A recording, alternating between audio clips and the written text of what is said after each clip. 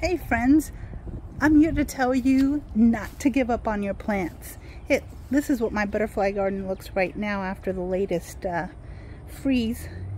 And look what's happening to my Duranta. My Durantas, they're coming back. Check it out. The Durantas are coming back.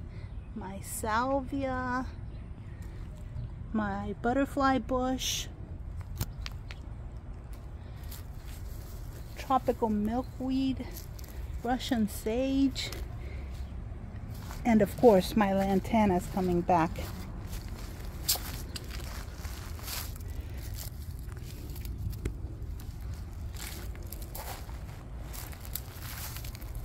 Don't give up on your plants.